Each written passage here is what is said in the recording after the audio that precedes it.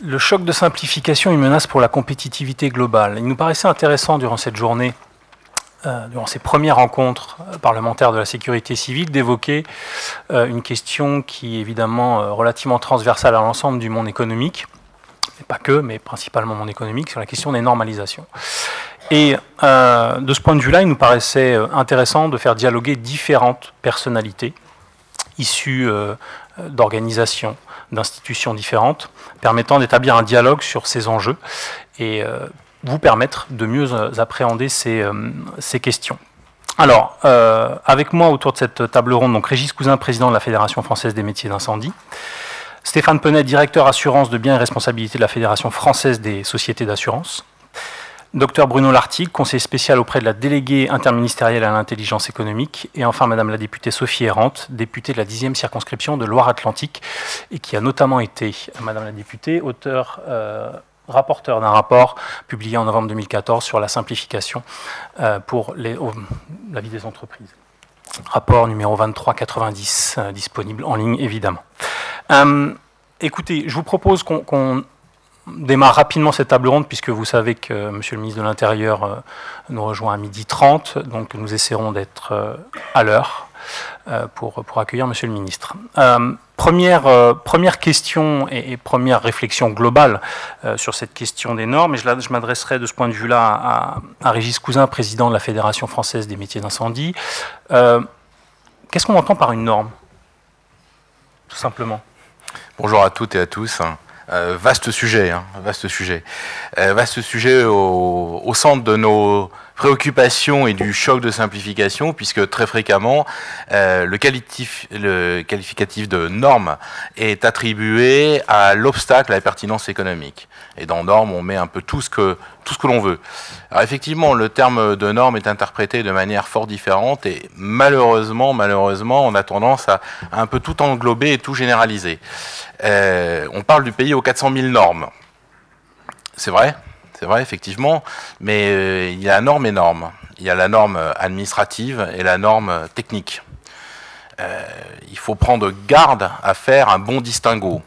Le choc de simplification a vocation normalement à simplifier la norme administrative et non pas la norme technique. Malheureusement, la norme technique, c'est celle, moi, naturellement, qui va me préoccuper en premier lieu, représentant les, métiers de l'incendie, euh, qu'est-ce que c'est? Bah, C'est tout simplement un texte qui a été élaboré, fruit de consensus, gardien de savoir-faire. C'est ça une norme. Après, elle se décline sous différentes, euh, je dirais, euh, différentes formes, mais avant tout, c'est ça. Et le danger, le danger effectivement, c'est que dans cette volonté simplificatrice, que l'on englobe naturellement aussi ses savoir-faire. Le risque est d'autant plus grand si vous avez tendance à vouloir simplifier dans un domaine où justement vous n'êtes pas forcément le plus au fait. Autrement dit, euh, lorsque vous êtes cultivé, vous n'avez pas forcément besoin de référents. La norme est un référent, la norme est un outil. Souvent, j'ai plaisir à rappeler que euh, euh, pour ceux qui bricolent, ou pour ceux qui ont par exemple mis des détecteurs de fumée dans leur logement, c'est-à-dire tous ici présents, avant le 8 mars, lorsque vous voulez planter un clou dans un mur, vous prenez un marteau, un clou, et que vous tapez sur les doigts. Dites-vous que c'est la faute du marteau ou de la main qui tient le marteau? Pas besoin de la réponse. Ben, les normes, c'est ça. Les normes, je, vous rappelle quand même qu'il euh, a fallu euh, euh, des, siècles pour réussir à élaborer un système d'évaluation de qualité et donc de pertinence économique lorsque, dans le monde de l'Ancien Régime, il fallait se soucier si on était en pays de gabelle ou sans gabelle. Aujourd'hui, on ne se pose plus la question, on se sert d'une norme. Donc une norme, effectivement, est un outil qui est précieux, mais comme tout outil, il faut savoir s'en servir à bon escient. Et encore une fois, la norme est ce que l'on en fait, et la norme n'est rien sans le mode de preuve. Il faut systématiquement le bon mode de preuve à la norme. À une exigence doit correspondre un mode de preuve. Mais le mode de preuve n'est pas forcément un bâton. L'exemple, la loi sur les DAF, qui est une loi euh, incitative où là on fait appel à la responsabilité des uns et des autres. Mais généralement, le mode de preuve est un peu plus affirmé et passe par exemple par le domaine de la certification. Certification qui, encore une fois, permet non seulement à une exigence d'avoir une garantie, une satisfaction quant à l'exigence prononcée. Voilà. En étant bref, sachant que c'est un sujet qui est très aride, qui généralement est réservé en début d'après-midi, on perd toute la salle, je suis ravi qu'il soit abordé en fin de matinée. Juste avant le cocktail, effectivement. Euh, alors, Monsieur Cousin vient de présenter rapidement euh, ce qu'il perçoit comme étant une norme, et, évidemment, on comprend euh, que, le monde économique soit particulièrement sensible à cela. J'aimerais interpeller, questionner Monsieur Lartigue sur cette question de la norme, parce que parfois il y a, il y a des doutes sur l'enjeu pour un pays, finalement, d'avoir un un corpus normatif, ou en tout cas une, forme, démarche de normalisation qui défende une forme de ses intérêts. Donc, est-ce que la norme, de ce, point de vue, euh, permet à un pays d'être compétitif, à la fois sur les questions d'entrée sur le marché, mais également sur la question de la projection? Ben, Oui, alors je, représente euh, Claude Revel, qui aurait aimé être là parmi vous. Puis il y a des grands spécialistes de la, de la norme euh, technique. On va rester hein, sur les sur euh, des, principes ou des généralités euh, macroéconomiques. Alors en fait, euh, effectivement, c'est très aride. on parle de normes très vite autour de la salle. on va parler. les gens s'attendent à ce qu'on parle de l'ISO, du SEN et des, des, termes qui, pour des entreprises, ont un coût. on voit sur souvent pour les entreprises une démarche normative comme une, une démarche longue, aride, qui coûte cher et sans, sans résultat, sans résultat concret, concret très rapide. Sauf que euh, on se rend compte que euh, les normes, les règles et les standards, parce qu'on évacue souvent euh, le standard, font les règles de la, compétition internationale. et être hors ce jeu-là, euh, or, euh, les règles euh, et dans la définition des règles de ce jeu international, c'est être hors jeu de la compétition, de la compétition internationale. Donc tout le, tout le sens, alors de l'intelligence économique au sens de l'action d'État, qui est le jeu, de la, le, jeu des actions de la, de la délégation ici en France, ou ailleurs dans d'autres pays, hein, parce qu'on a, on a d'autres pays qui ont euh, des politiques publiques d'intelligence euh, économique ou de business euh, intelligence ou competitive intelligence en fonction de l'organisation et des, et des objectifs et des finalités que l'on entend derrière cette, cette politique publique. tout le jeu pour l'État, c'est de préparer les environnements, alors où se font cette norme et ce standard, c'est-à-dire de pouvoir avoir euh, des relais, euh, euh, français au sein des enceintes européennes, au sein des enceintes internationales, où se font des jeux de lobbying ou d'advocacy de différents groupes internationaux. Et c'est aussi sensibiliser les entreprises. Alors les grands groupes ont bien compris, Hein, qu'elles avaient euh, tout intérêt à être, euh, à euh, qu'ils avaient tout intérêt à être présents dans ces, enceintes, mais aussi les TPE et voir les PME et voir les TPE qu'elles jouent à ce jeu-là, parce que sinon, ils se font rafler les marchés à l'international. Alors il y a plein d'anecdotes, hein, vous retrouverez... alors il y a eu des grands euh, des, grands, euh, des grands exemples de réussite euh, française et européenne de, de, normes, c'est le on ne reviendra pas sur le GSM, on pourra en reparler tout à l'heure, qui est quand même un exemple français européen de réussite au niveau, au niveau mondial.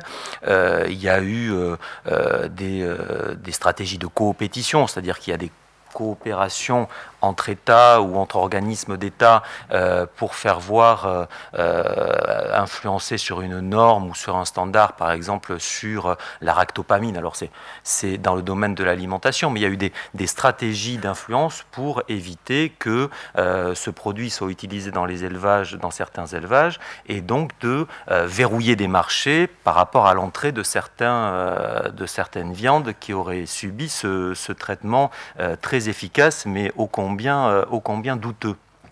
Euh, on a eu d'autres échecs. Mais euh, vous voyez, si à un moment donné, euh, l'État ne prépare pas les, environnements et les enceintes où se font cette norme, et si les entreprises qui, sont les acteurs économiques de toute taille ne, sont pas sensibilisés à utiliser ce jeu d'influence normative comme un investissement parce que c'est un investissement pour aller conquérir des marchés euh, très en amont, euh, on, se retrouve, on se retrouve hors jeu. Et il ne faut pas oublier que les, euh, les Allemands, et le DIN allemand, qui est un peu l'organe officiel allemand qui s'occupe de, cette, de, de la norme, évalue à pratiquement à 1% euh, du PIB allemand euh, les impacts de, du jeu normatif. Donc pas, ce sont des vrais, euh, des vrais enjeux à la fois économiques et des vrais enjeux de compétition internationale. Merci, docteur Artigue. que pense le monde assurantiel de la norme? Est-ce que c'est un, un levier? Est-ce que c'est un frein de développement? Bien, bonjour. On va parler de la norme de sécurité, hein, parce que si on fait un débat sur la norme en général, on va parler de choses qui peuvent nous emmener très loin.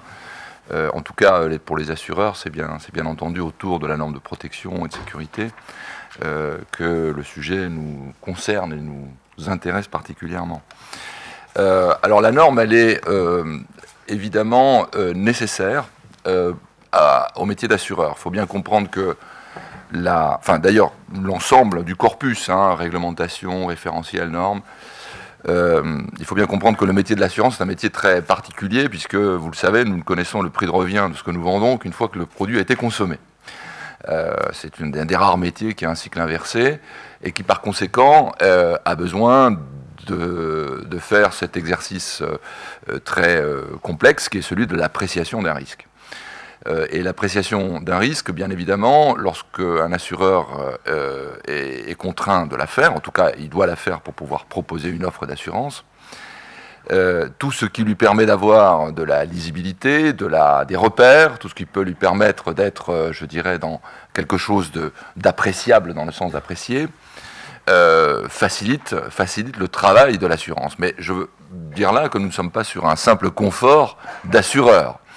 Euh, lorsque l'on dit ça, c'est que euh, la conséquence d'une absence euh, de repères pour apprécier un risque conduit pas seulement d'ailleurs à, des éventuelles primes d'assurance qui seraient plus élevées, c'est pas, pas, pas seulement ça le sujet, il amène aussi à la non-assurabilité d'un risque. C'est-à-dire que l'assurance, ce n'est pas la roulette russe, si je puis dire. C'est-à-dire que lorsque l'on n'a aucun élément d'appréciation, on ne dit pas ça coûtera très cher, on dit c'est pas assurable. Voilà. Donc en ce sens, euh, l'ensemble du corpus euh, euh, normes, réglementations, etc., est, évidemment nécessaire à l'assurance. Et elle est d'autant plus nécessaire que plus elle sera, entre guillemets, compétitive, plus elle rendra l'assurance compétitive aussi. Je crois qu'il faut bien faire un lien entre cela. Maintenant, je voudrais revenir au, au titre de, ce que vous avez euh, évoqué en, tête de chapitre de cette table ronde, qui est euh, finalement le, choc de simplification, euh, celui qui est censé, je dirais, alléger la contrainte. alléger la contrainte. Alors, soit dit en passant d'ailleurs, euh, ça je parle pour ma chapelle, mais euh, ça serait bien que ce choc de simplification soit transversal, hein, parce que je pourrais vous donner des, exemples très récents et très concrets qui prouvent qu'apparemment le mot d'ordre n'est pas passé partout, hein, euh, et que des fois on se demande si on n'est pas plutôt dans un choc de complexification dans certains domaines. Mais parlons maintenant de cette idée qui existe, qui est de dire nous avons peut-être trop de normes et trop de contraintes qui pèsent sur notre outil industriel, et qu'il euh, faudrait peut-être euh, soit un moratoire, ou de la réglementation, ou, de la contrainte, on va parler de contrainte plus qu'autre chose, euh, pour permettre aux entreprises d'être peut-être plus, plus compétitives. Alors, sur le papier, ça a l'air extrêmement peut-être séduisant. Ça, ça, peut être très séduisant. Néanmoins, personne ne peut être contre la simplification. J'ai rarement vu quelqu'un qui dit euh, moi je suis pour la complexité euh, et pour la, complexification des choses.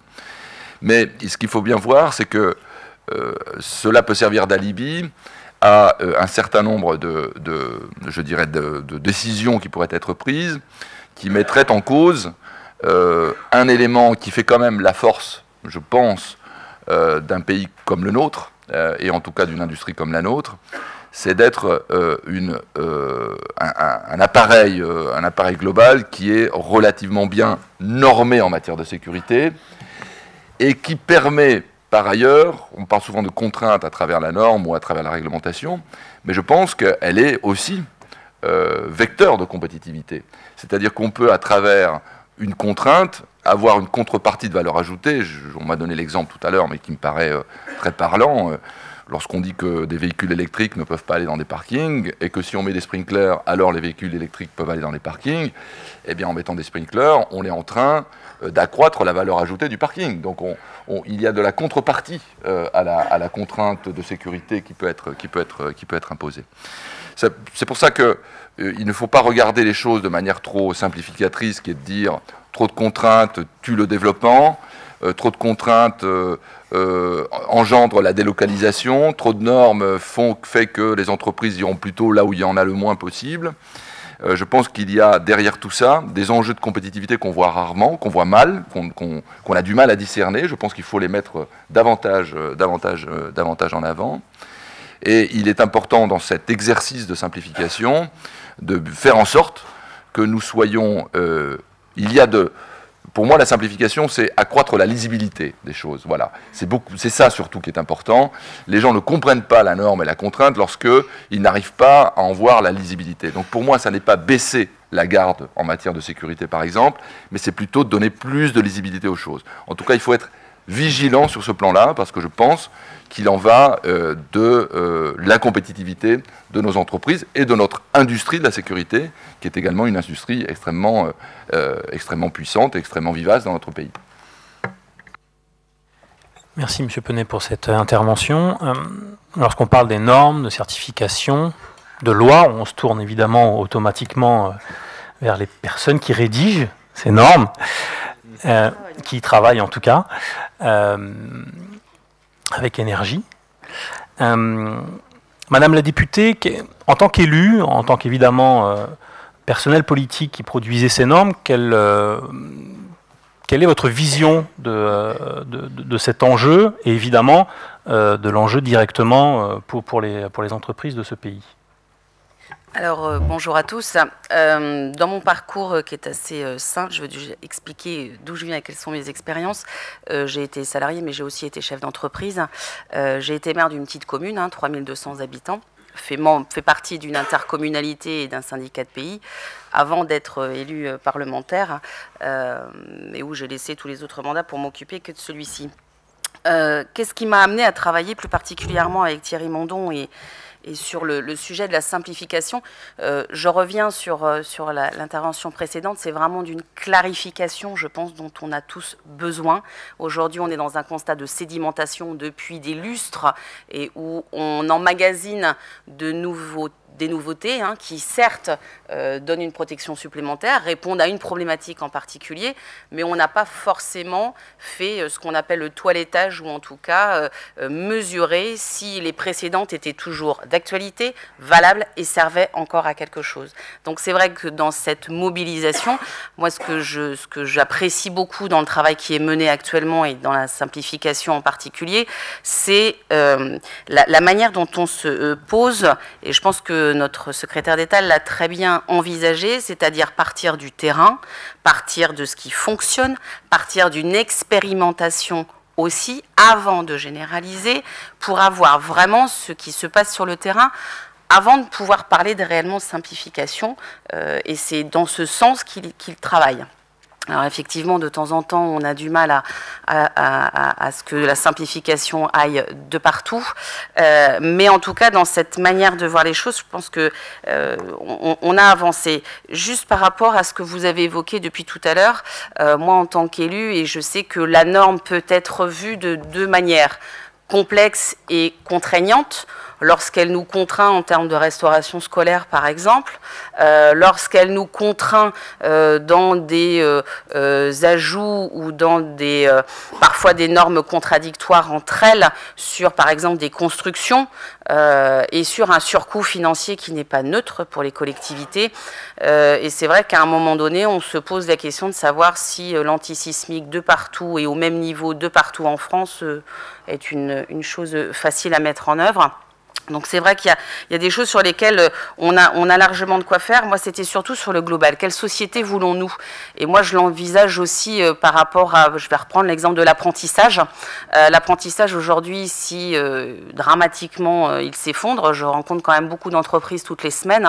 ce qu'on me dit aujourd'hui, c'est que si c'est pour avoir un stagiaire qui est assis sur une chaise à regarder son tuteur travailler, aucun intérêt. Si en plus il est mineur, alors là, n'en parlons plus parce que là, ça devient encore plus compliqué.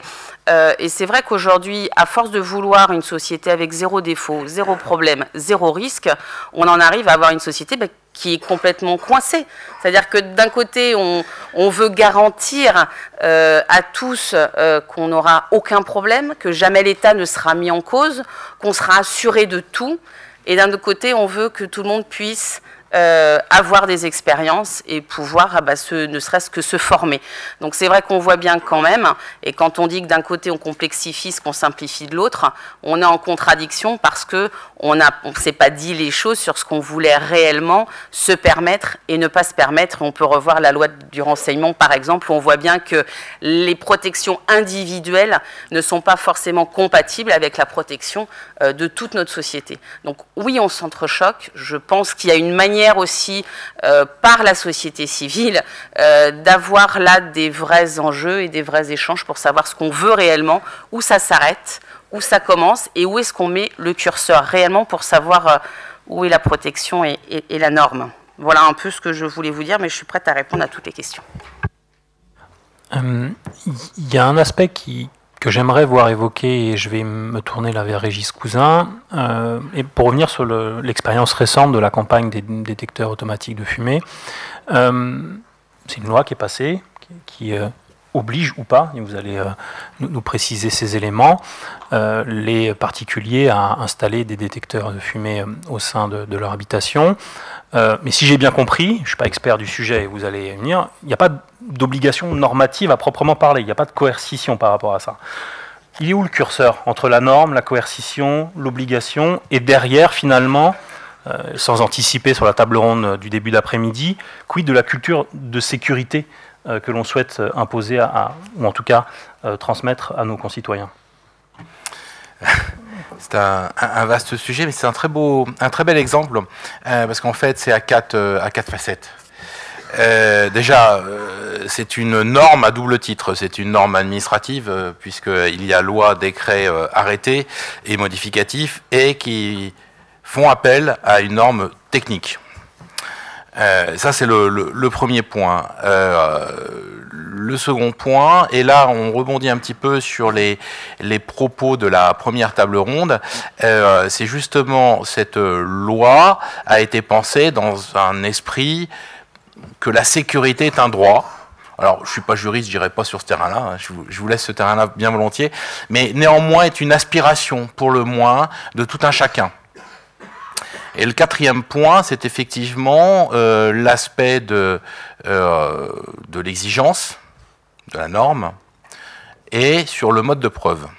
Et effectivement, euh, j'ai presque envie de dire que c'est plutôt une première sur le domaine euh, de, la, sécurité incendie, sécurité civile, où on a créé une exigence, mais sans avoir un mode de preuve euh, j'ai envie de dire matérialisé. on est dans un stade supérieur, c'est très très ambitieux. Et moi, je veux faire une approche un peu philosophique parce que c'est celle qui sera développée en plus en début d'après-midi c'est qu'en fait, euh, qu'est-ce qu'on a essayé de faire au travers de ce texte-là? On a essayé de faire réémerger un risque primaire qui avait disparu. Et ce risque, il avait disparu. Pourquoi? Parce que globalement, aujourd'hui, nous avons un patrimoine en termes de gestion, en l'occurrence du risque incendie, qui a fait disparaître la perception du risque incendie. Et pourquoi devrais-je m'équiper contre un risque que je ne perçois pas? Donc on est obligé de passer par la norme. On est obligé de passer par la contrainte. On en revient à la première table ronde, justement, de ce droit, et derrière, doit-on aller sur l'obligation de résultat ou de, ou de moyens? Et là, en l'occurrence, on a essayé de revenir sur, à défaut du bon sens, mais tout du moins d'essayer de, d'accompagner tout un chacun vers le chemin du bon sens. Et donc, dans ce texte-là, enfin dans ces textes-là, il y a une exigence très forte sur le, le produit, effectivement. Par contre, sur sa mise en œuvre, avant tout, on essaye d'être dans la responsabilisation de tout à chacun, sans pour autant prévoir un gendarme qui va aller contrôler, que ce gendarme soit un gendarme euh, euh, à képi ou qu'il soit un gendarme qui soit assis euh, à cette table ici. Oui, je, voulais juste préciser, effectivement, Régis a dit le mot qu'il fallait, la responsabilisation. Je pense qu'effectivement, cette loi, elle a quelque chose d'un peu, nouveau. C'est qu'il y a une obligation, finalement, sans sanction autre que euh, la mise en avant de la responsabilité du propriétaire.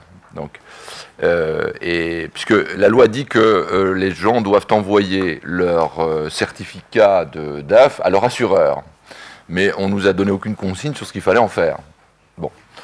Donc euh, pour l'instant, euh, tous les assureurs m'ont appelé en me disant bah, qu'est-ce qu'on fait de. Bah, j'ai dit écoutez, gardez-les pour l'instant, hein, on ne sait jamais, mais, euh, mais effectivement, la personne va changer de bâtiment, donc le document sera obsolète dès que la personne va déménager. Enfin bon, bref, on aura du mal à tracer tout ça.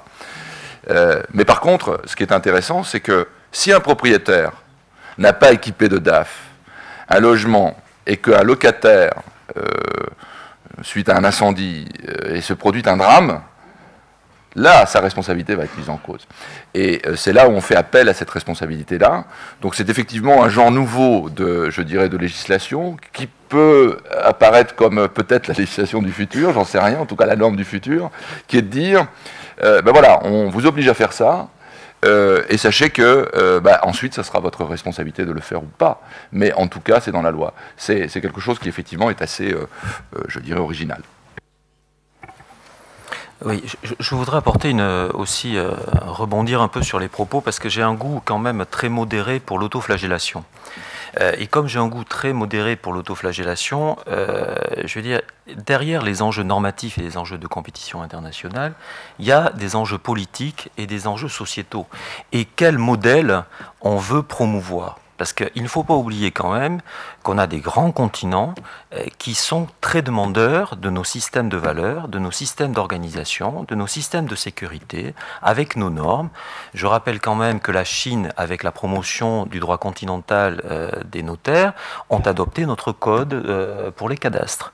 Et donc derrière ces normes, donc les codes par définition, sont une illustration euh, magistrale euh, de, nos normes et de nos standards, euh, il y a des enjeux de société, des enjeux de qualité de vie.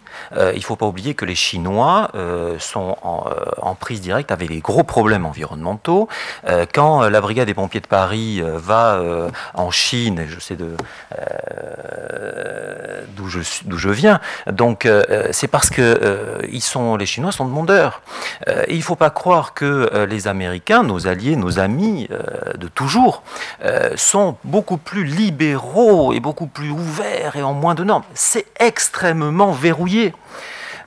pénétrer le marché américain pour toutes les tailles d'entreprise, c'est extrêmement compliqué. alors certes, j'en reviens avec, sur, sur les propos de mon, de mon voisin de gauche, ils ont plus de clarté. C'est-à-dire, quand vous voulez investir, quand une grosse entreprise veut investir aux États-Unis, les règles du CIFUS sont règles, sont claires. Vous pouvez y aller, vous ne pouvez pas y aller. Au moins, c'est clair. Ce qu'on nous reproche peut-être un peu, c'est que quand des grands investisseurs étrangers veulent venir en France, alors on fait tout pour les faire venir, mais il y a du flou. Et quand il y a du flou, c'est qu'il y a un loup pas moi qui l'ai dit, ça vient du Nord. Donc, euh, je veux dire, euh, ce qui manque, c'est de la clarté. Et si on veut être compétitif, il ne faut pas se regarder le nombril, regarder, ah ben, s'autoflageller en disant, oh, on a un corpus juridique très, tac, tac, tac, c'est compliqué, c'est pas simple. Non.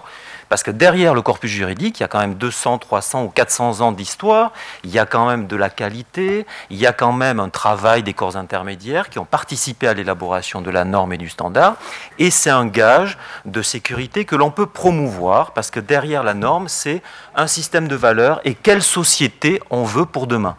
Euh, donc, essayons de promouvoir nos systèmes de standards, essayons d'être dans les enceintes pour faire de la règle, essayons à la limite d'exporter nos contraintes finalement. Pourquoi on ne l'exporterait pas? Euh, Parce que derrière ces contraintes, il y a une histoire, il y a une société, et il y a comment on veut faire vivre ensemble. Et le droit et la promotion du droit, c'est l'essence même de la société de demain. C'est comment on fait société. Est-ce que c'est le deal entre deux entreprises et on ne prend pas un tiers pour, euh, euh, comme, euh, comme témoin, ou est-ce que c'est le droit continental, où la puissance publique reste quand même garante que le deal est à peu près équilibré Madame la députée. Oui, je pense qu'effectivement, pour rebondir sur, sur, ce qui vient d'être dit, ce qu'on qu'on attend de nous, et, et, là je parle en tant que parlementaire, c'est aussi peut-être que on arrive à mieux légiférer, ou en tout cas à légiférer différemment. C'est-à-dire arriver euh, à pouvoir euh, d'abord, euh, c'est ce que je disais tout à l'heure, expérimenter, voir ce qui fonctionne et aussi clarifier, dans, une, donner une perspective. Aujourd'hui, c'est vrai qu'il y a un épuisement à la modification et à la modulation. ce qu'il faut qu'on arrive à, mettre en œuvre, et je sais que ça va être compliqué, puisqu'à chaque fois, la France, c'est euh, le souci de l'alternance, donc en plus avec des quinquennats, alors là, on est dans la super alternance, mais faut donc qu'on arrive, et ça c'est un sujet, et je pense que Claude Bartolone l'a aussi annoncé euh, sur le travail qui est fait, et je ne parle pas de son dernier rapport, mais celui sur lequel je travaille personnellement, qui est légiféré autrement.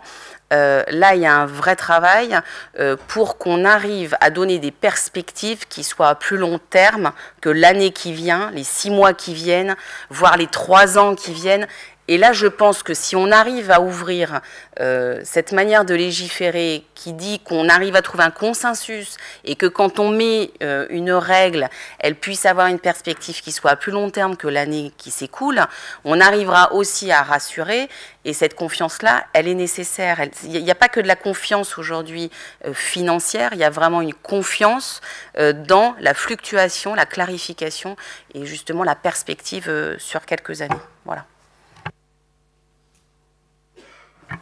Alors, effectivement et naturellement, je crois que, comme ça a été dit, tout le monde souscrit à une clarification, en fait, à un travail comme l'avait fait, euh, pour ceux qui aiment un peu l'histoire, l'empereur Justinien au VIe siècle, qui avait compilé tout le droit romain et qui avait essayé de l'actualiser, de moderniser, de le rendre donc plus accessible, donc compréhensible, donc pour que chacun s'en empare et s'en revendique. C'est exactement le défi qui est devant nous, euh, mais ce défi-là, il est quelque peu biaisé euh, pour, je pense, deux raisons. En l'occurrence, encore une fois, moi je parle que du côté sécurité incendie. Hein.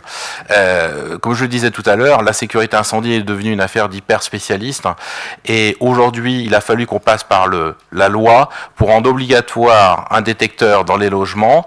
Euh, aujourd'hui, sur en gros les, les, les, les, décès par incendie, 90 à 95% ont lieu en habitation. Ce qui veut dire que tout autre type de bâtiment est plus sûr que son propre logement. Ce qui veut dire quoi? Ce qui veut dire qu'il n'y a plus de perception du risque. Donc il faut passer par la logique de contrainte et, euh, et la loi. Clarifier, simplifier quelque chose qui a été fait sur de nombreuses années est nécessaire pour que l'outil reste performant, adapté et que chacun puisse le, comprendre. Mais, euh, c'est là où il y a le, le gros, mais, euh, c'est qu'il y a, par des temps de disette budgétaire, quelquefois la tentation qui peut être un peu trop euh, simpliste et rapide de dire, bah, pour alléger un coût, je pense par exemple à un coût bâtimentaire, allégeons les contraintes. Et pourquoi je n'allégerai pas les contraintes sur un domaine où finalement, est-ce qu'on n'en a pas fait trop? Et pourquoi on n'en a pas fait trop? Parce que bah, finalement, il y a un risque, pourquoi je devrais m'équiper?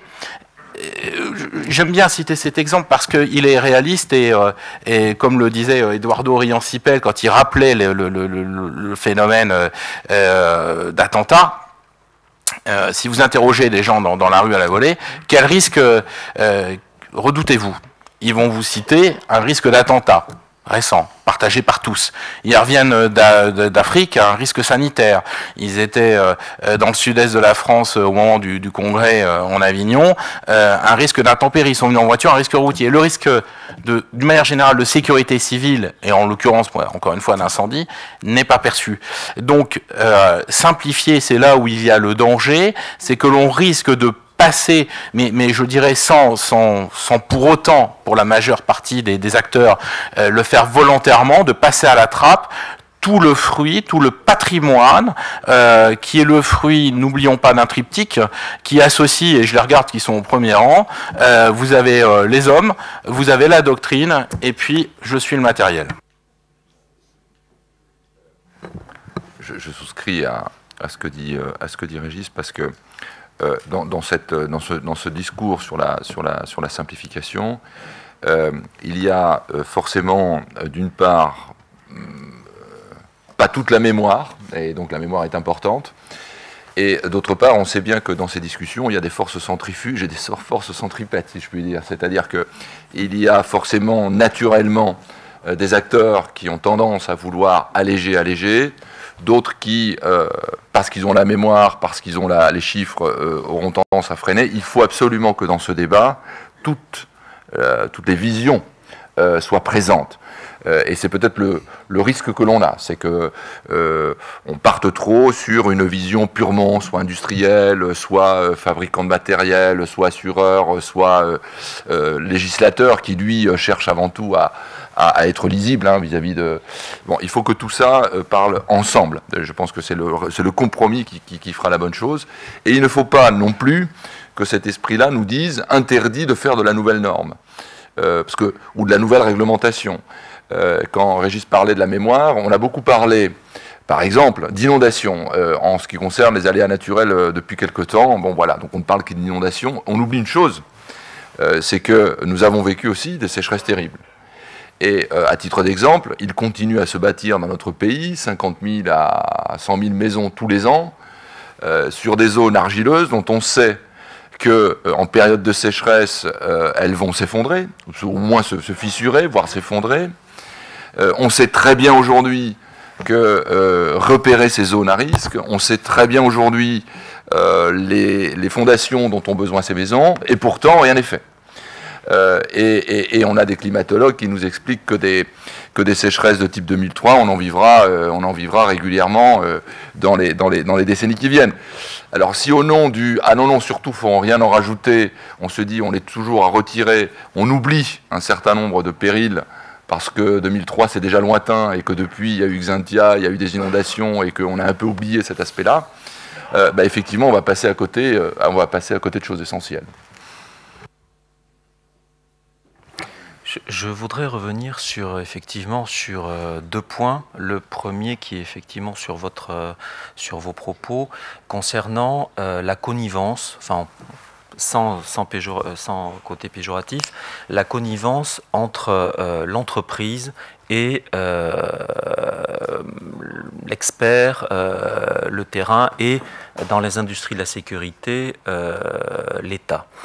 Je pense qu'on est, en deçà de ce qui se fait euh, euh, dans d'autres grands euh, pays, en amont, d'avoir cet échange très approfondi avec chacun ayant sa partition à jouer. Il ne s'agit pas de confondre les, les rôles de l'entreprise et les rôles de l'État ou les rôles, les rôles des faiseurs d'opinion on les oublie souvent, mais cette connivence très en amont pour où sentir les tendances, euh, de demain concernant effectivement l'appétence la, du, du, citoyen en, plus de sécurité ou plus de qualité ou plus de bien-être.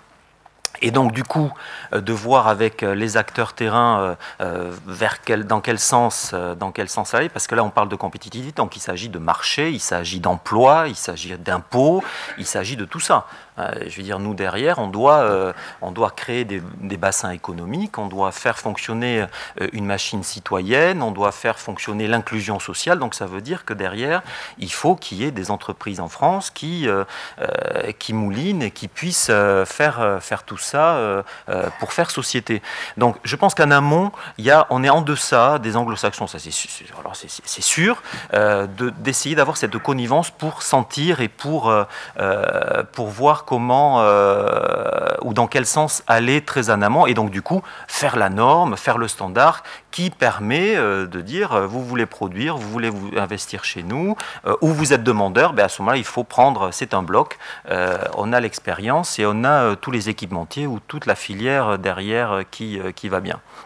Le deuxième point, plus en amont encore, et puis là, c'est le, public aujourd'hui va probablement savoir ce que, je veux, ce que je veux dire. Quand on va sur des terrains de catastrophe à l'international, ça a un coût. Sauf qu'aujourd'hui, euh, on se pose la question de savoir comment euh, on, récupère directement ou indirectement le coût que ça, peut, avoir d'envoyer des, batteries d'experts ou des batteries euh, d'acteurs intervenir. Alors un coup en Afrique de l'Ouest pour Ebola, un coup en Libye, un coup effectivement dans, dans notre il y a des catastrophes naturelles. Et on, on est en deçà aussi probablement euh, de l'influence auprès euh, des gouvernants et des, des institutions locales euh, pour passer au step d'après, c'est-à-dire comment on influe sur les organisations, sur les dispositifs locaux pour anticiper à leur tour les catastrophes quand ils sont exposés. C'est-à-dire, un exemple clair, Ebola, on a envoyé une, une kyrielle d'acteurs comment on peut après promouvoir notre système sanitaire, notre système de prévention sanitaire, comment ça fait le lit de nos, euh, de équipementiers euh, dans ce cadre-là. Je pense que c'est les deux points. C'est l'amont, quand effectivement on va euh, porter dans le cadre de la coopération ou l'intervention extérieure, et cette connivence entre l'acteur et le monde de l'entreprise. Peut-être, avant, excusez-moi, avant de clôturer cette table ronde, peut-être prendre une ou deux questions dans la salle, puisque nous avons maintenu dans le silence ce matin, malgré nous. Nous avons une personne sur la droite. Alors, présentez-vous de manière distincte. Ah, on vous apporte, on vous apporte un micro. On vous apporte un micro. une question assez rapide, hein, par contre, s'il vous plaît. Euh, Bruno Grandpierre, euh, POC SAS. Euh, je participe à des comités de normalisation et il y a une chose que j'ai compris à mon âge, excusez, ça a pris du temps, c'est que la norme, c'est une arme économique américaine. Alors, j'ai commencé à comprendre cela lorsque j'ai voulu vendre en Inde. il faut savoir que mon chiffre d'affaires principal, c'est la Chine. La Chine a très peu de normes. Mais en Inde, quand je suis arrivé, on, m'a dit Are you UL listed? Have you an FM approval? Alors, j'ai mis encore plus de temps à comprendre ce que voulait dire FM approval. FM approval, c'est des normes qui sont des normes américaines, bien entendu, où le FM a pris les éléments qui lui plaisaient en laissant tomber ce qui était trop compliqué pour eux, et en plus, il donne une assurance. C'est-à-dire que si le produit est défectueux avec un FM approval, eh bien, il y a une assurance derrière qui garantit et qui euh, donne cette garantie sur le plan monétaire à cet euh, agrément. Et sinon, pour la question? Alors, pour la question, qu'est-ce qu'on fait en Europe? Alors, moi, je sais ce qu'on fait en Europe, mais je suis sûr que personne ne le sait ici. Qui souhaite répondre? Je peux répondre. euh, c'est pas moi qui vais vous donner tort, hein, pour le coup, euh, puisqu'on travaille effectivement, on fait beaucoup de benchmark et ce qui se passe le meilleur exemple de ce que vous dites, c'est euh, l'accord, euh, le TTIP, l'accord UE-US, euh, qui est pour l'instant encore dans les limbes, hein, euh, où on se rend compte que c'est un accord normatif. Ce n'est que ça. L'accord transatlantique, c'est uniquement un accord euh, normatif. Alors, pour répondre directement à ce que, pour savoir ce qu'on fait en Europe, enfin ce qu'il faudrait faire, que je ne suis pas sûr qu'on y arrive, c'est d'avoir un corpus validé, approuvé, un peu comme le, FM Approval, parce que le FM Approval, je ne suis pas sûr. Vous l'avez eu, votre FM Je suis en train de travailler dessus. Je suis UL listed. Je vais commencer par là. Et ensuite, le FM Approval pour un certain nombre de produits. Je travaille dessus.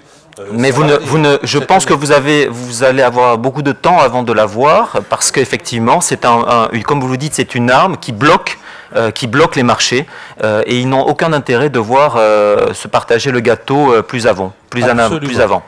Absolument. Alors, ce qu'on fait quand même en Europe, je vais quand même en parler à mon, à, mon humble niveau. je, ayant constaté les dégâts, très brièvement, s'il vous plaît. Très ayant constaté les dégâts de, des, des, normes américaines imposées au reste du monde, eh bien, j'ai décidé, pour ma part, de participer à des comités de normalisation. De fait, d'essayer d'avoir un panel de normes européennes en me basant sur la norme DIN parce qu'elle est beaucoup plus complète que la nôtre. Les normes DIN sont beaucoup plus complètes, il y en a beaucoup plus sur tous les sujets, alors qu'en France, il y en a très peu. Bon, commencer par là, de faire des normes européennes, de façon à avoir un certain poids. Et ensuite, de faire comme FM, de faire un FM européen. Voilà. Alors ça va prendre du temps, euh, des dizaines d'années, mais euh, on travaille dessus on travaille dessus et la LFFMI euh, y participera bien entendu parce que les constructeurs et les utilisateurs l'imposeront. Désolé d'être aussi brutal. Merci. Au niveau de la normalisation, ce que là, c'était effectivement, c'est un combat à mener euh, au niveau européen. Ça dépasse complètement les, les composantes de l'Europe. Et euh, très clairement, la, normalisation et le mode de preuve associé est un outil de, de, pertinence économique et un, outil de, de lobbying. Euh, très clairement. Et ça, euh, Claude Revel avait produit un rapport qui est absolument remarquable sur le sujet. Alors c'est vrai que d'une manière générale, alors sans vouloir que ce soit une attaque, hein, il y a d'une manière générale assez peu d'appétence pour le sujet normatif en France, normatif technique je le comprends, il n'est pas forcément des plus simples à appréhender. Euh, par contre, euh, ce qu'il faut bien euh, noter et comprendre, la FFMI que je préside a aujourd'hui 110 experts en normalisation, que ce soit France, au niveau de l'Europe, on y arrive tant bien que mal, au niveau international de l'ISO, c'est quasiment mission impossible. Et c'est là où justement, euh, moi j'interpelle euh, nos élus sur le sur le sujet, c'est qu'effectivement lorsqu'on se compare à nos voisins, alors anglo-saxons et euh, allemands, en commission normalisation au niveau de l'Europe, trop fréquemment, nous peinons, enfin nous nous, retrouvons confrontés à avoir quatre ou cinq experts anglo-saxons, six ou sept du monde germanique, quand nous peinons à en envoyer entre 0 et 2. Donc même si nous avons de brillantes idées, et nous les avons, si nous avons des savoir-faire, nous avons de gros soucis en termes de, pour s'affirmer au niveau des instances européennes. Et très clairement, euh, c'est pas au niveau français que l'on pourra, je dirais, imposer au reste du monde une solution. Ça se joue maintenant au niveau de l'Europe. Là, on est sur le référentiel. Après, il y a sur le mode de preuve. Et là, encore une fois, effectivement, lorsqu'on sort de l'Europe, on se retrouve quelque peu euh, confronté à une Europe, je dirais, inachevée. Il y a eu un premier stade qui a été, euh, fait, à savoir le, passeport pour les produits, le fameux marquage eux, est tellement à géométrie variable que il n'est pas suffisamment aujourd'hui un outil de confiance euh, suffisant pour que euh, justement sur des marchés internationaux, il puisse s'imposer de lui-même. Ce que M. Grandpierre a dit est effectivement vécu par nombre d'entreprises qui vont justement à l'export. Pourquoi? Le marquage chez eux, en fait, s'appuie sur des référentiels techniques normatifs qui ont été harmonisés, mais celui qui lit la mesure et l'outil qui lui sert à lire la mesure n'ont pas été harmonisés. Le COFRAC n'est que français. Si le COFRAC était européen, effectivement, nous pourrions peut-être avoir un marquage chez eux de qualité. Aujourd'hui, il s'exerce sur les produits, demain sur les services.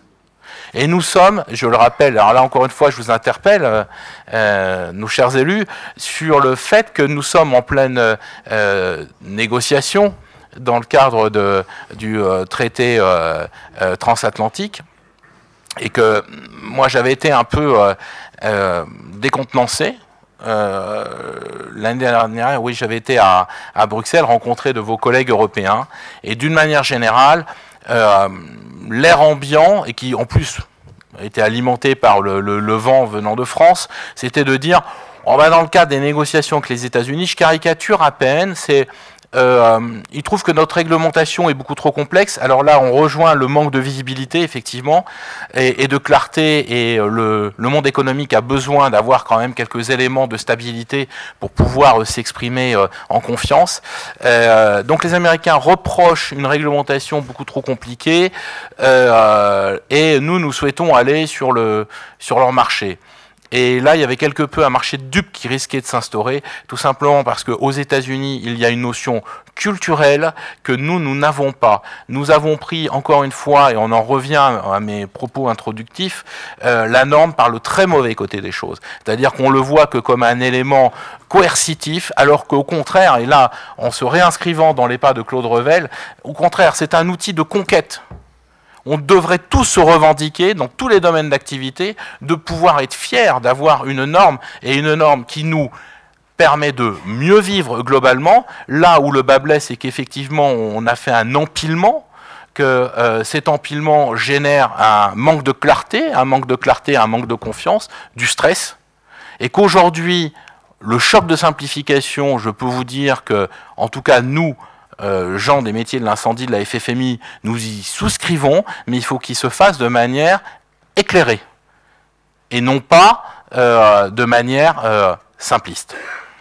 On vient donc de m'avertir de l'arrivée du ministre, donc je laisse la parole à Madame la députée pour clôturer cette table ronde. Oui, donc euh, merci. Oui, donc j'ai bien compris les, différentes interpellations. Il y a euh, juste sur le sujet de la, simplification, et je pense que là où on a des marges de manœuvre et on pourrait justement redéployer euh, des financements dans la, de la prospective d'avenir, c'est sur vraiment la simplification administrative autant pour les collectivités que pour les entreprises. Je pense que là, on a vraiment des efforts. Ils sont en train de se mettre en œuvre, là aussi, sur une autre manière de travailler, non plus en silo, mais en transversalité, avec des vrais moyens de communication, puisqu'on avait quand même des gros sujets de préoccupation, c'est que certains services ne communiquaient même pas entre eux. Donc aujourd'hui, on est quand même dans cette perspective et j'espère qu'on pourra justement faire des économies d'un côté pour les redéployer sur euh, ce qui aujourd'hui peut être un, avantage. Et puis par rapport à l'Europe, ça aussi, ça fait partie du, mieux légiférer où avec Claude Barthelone, on, travaille à notre organisation euh, aujourd'hui parlementaire en France. 80% de la, norme, de la, de la loi euh, vient de l'Europe. Nous, on, voit beaucoup ça en termes de retranscription. On a souvent tendance à surtranscrire euh, la loi européenne et la norme européenne. C'est vrai qu'aujourd'hui, il serait bien que dans le, le, rôle du Parlement français, il y ait un peu plus de place aux échanges avec nos euh, élus européens, qui puissent venir discuter avec nous et qu'on ait des échanges réguliers sur ce qui se passe au niveau européen et qu'on n'ait pas qu'une commission européenne mais qu'on ait un vrai travail ici euh, à l'Assemblée. Donc en conclusion, oui, on est conscient euh, qu'on doit euh, travailler différemment, qu'on doit légiférer autrement. c'est vrai que ça ne se fait pas en coup de baguette magique. Par contre, je pense que là où il y a un, vrai effort aussi de la part bah, de vous tous, hein, c'est de participer au Conseil de la simplification et de venir aussi être porteur d'initiatives et d'idées. C'est ouvert. Je vous invite grandement à y participer largement. Merci. Merci beaucoup pour ce, message rassembleur et inclusif. Un merci aux participants de cette table ronde, donc dans quelques instants à la venue du ministre de l'Intérieur. Merci encore aux participants. Je pense qu'on peut les applaudir pour leur intervention respective. Retrouvez la webconférence en intégralité sur communauté.idealconnaissance.com.